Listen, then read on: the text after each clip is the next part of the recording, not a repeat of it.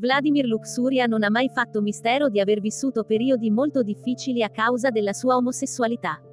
Fin dai tempi della scuola, Vladimir è stata presa di mira da compagni intolleranti, in un ambiente ostile in cui persino i professori facevano finta di non vedere. Intanto i bulli continuavano a prenderla di mira, urinando addirittura sulle sue scarpe negli spogliatoi.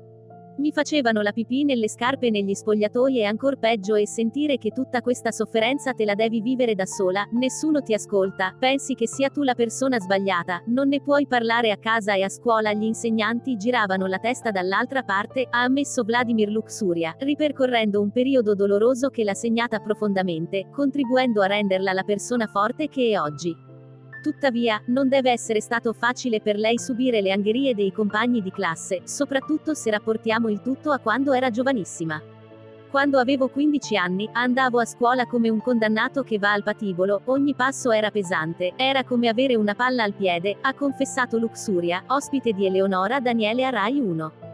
Sapevo che ogni volta che entravo a scuola ci sarebbero state delle risatine, qualcuno avrebbe scritto un insulto sul mio quaderno, quando andavo a ginnastica era il momento peggiore, ha dichiarato l'ex deputata. Vladimir Luxuria, in occasione di un'intervista per Libero, ha parlato di un altro periodo particolare della sua vita in cui, come ha dichiarato lei stessa, si è prostituita. Non mi prostituirei un'altra volta, ha esordito Luxuria, per poi ammettere, non posso dire di essermi pentita, era un periodo della mia vita. L'ho trascorso con lunghe sedute dall'analista. Avevo passato talmente tante delusioni con gli uomini che, per ripicca, nella mia testa, decisi, non mi date niente e vi vergognate di me?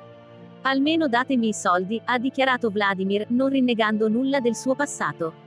L'ex deputata ha voluto affrontare anche un altro argomento delicato, relativo al mancato completamento della sua transizione. L'anestesia mi terrorizza, anche se poi è vero, mi sono rifatta naso, labbra e seno in una botta sola, ha rivelato Luxuria, aggiungendo, a dire il vero, attiravo l'attenzione degli uomini più come trans.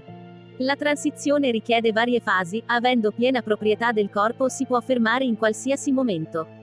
Ma anche andare avanti, non è detto che non cambi sesso del tutto.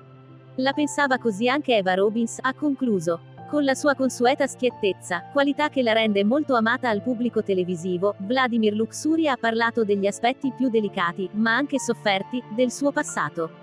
Proprio grazie ad essi, oggi è una persona forte e determinata che ha accettato completamente se stessa.